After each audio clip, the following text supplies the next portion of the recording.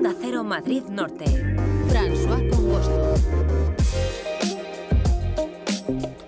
En España, uno de cada cuatro menores ha sufrido acoso sexual a través de Internet, según apuntan varios estudios. Y justamente para, digamos, tomar conciencia de este asunto importante, hoy queremos sumarnos a una campaña de Diaconía España que alerta sobre los peligros de explotación sexual a menores en videojuegos online. Lo harán a través de una campaña, Tu juego, tus reglas. Y vamos a hablar con Natalia Colmenar y David Santos, que son técnicos de lucha contra la trata en Diaconía España. Bienvenidos a los dos, Natalia, David, ¿qué tal? Hola, buenas. Muchas gracias. Encantado de poder hablar con vosotros, sobre todo de poder poner sobre la mesa esta situación que se da. Eh, ¿Por qué queréis eh, esta, esta organización? ¿Por qué habéis querido lanzar esta campaña? Pues todo empieza cuando vamos a los institutos a dar nuestros talleres de sensibilización y los propios alumnos y alumnas de ellos nos empiezan a contar eh, sus experiencias en, los videojuegos, los mensajes que les llegan y cuánto tiempo pasan eh, en este mundo digital de, su tiempo libre y de su ocio. ¿Cuál sería la manera en que esos adultos eh, contactan con los niños y consiguen de ellos, bueno, pues esas eh, fotos sexuales de contenido sexual? Pues hemos encontrado durante nuestra investigación que hay dos maneras principales. La primera sería que ofrecen eh, elementos de pago de los propios videojuegos a cambio, bueno, o lo ofrecen gratis y luego piden fotos y vídeos sexuales de, de los menores, o eh, ofrecen ya este intercambio de fotos y vídeos sexuales por eh, los elementos de pago que pueden ser desde armas hasta avatares, monedas del propio videojuego. Y luego también el uso de estos em, espacios de diálogo que existen dentro del propio videojuego para poder coordinarse entre sí, como son colaborativos, pues cómo pasan estas conversaciones del el videojuego a otras redes sociales como pueden ser Telegram. Claro, es que en estos videojuegos digamos que tendríamos una parte de conversación, de chat público, ¿no? Donde se contactaría primero y luego se haría por parte de ese abusador, eh, se pediría al niño o niña o al chaval pues eh, acudir a un chat privado, ¿no? Donde habría a lo mejor, eh, digamos, es donde se aprovecharía para poder hacer propuestas. Claro, ahí se empezaría a generar esta relación de confianza para después dar paso a esta propuesta del, del pedrasta, pedófilo o tratante.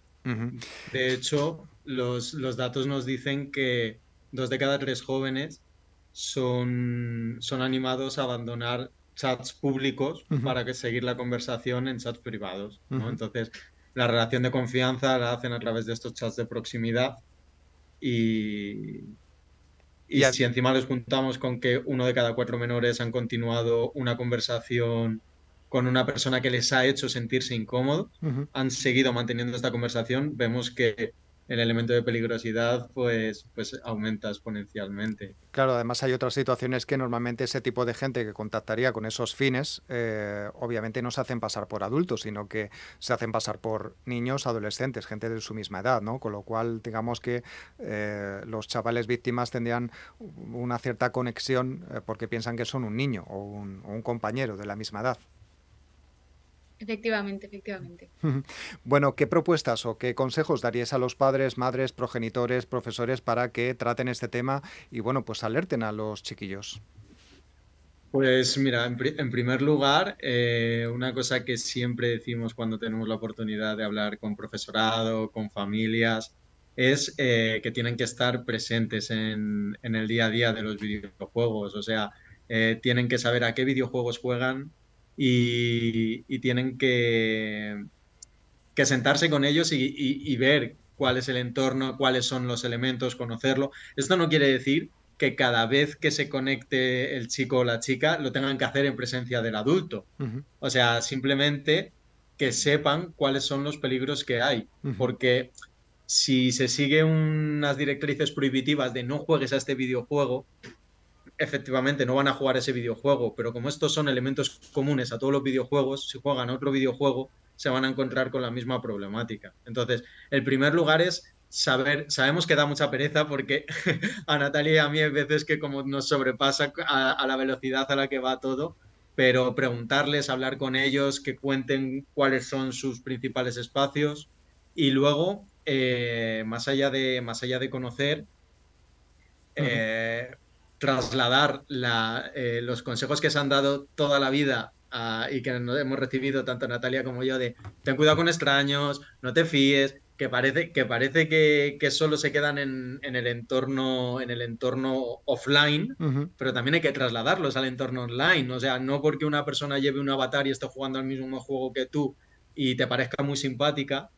eh, va a ser quien te dice que es o, va a tener siempre estos fines, porque para ellos son entornos amigables, son entornos de socialización y donde, donde se lo pasan bien.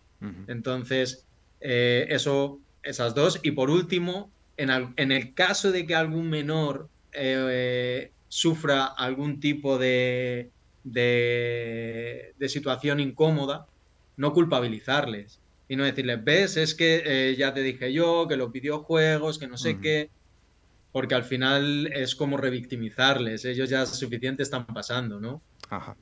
Muy bien, bueno, pues apuntamos estos consejos. Eh, ya saben que esta campaña, recordamos que se titula Tu juego, tus reglas. Bueno, pues la podemos ver durante unos días en 11 estaciones de metro de la capital, también en el intercambiador de Plaza Elíptica y que luego, por otro lado, tiene una, planta, una plataforma online eh, donde podemos ver un videojuego donde los niños pueden meterse y ahí ya van a poder entrar en, como una especie de simulacros para saber exactamente cómo, cómo podría ser esa situación en la que alguien con fines no muy claros se les podría acercar y convencerles para, para pedirles o, fotos o vídeos. David Santos, eh, Natalia Colmenar, técnica de lucho, técnicos de lucha contra la trata en Diaconía España, gracias por acompañarnos y hasta la próxima. Suerte con la campaña. Muchas gracias. Muchas gracias. Hasta luego.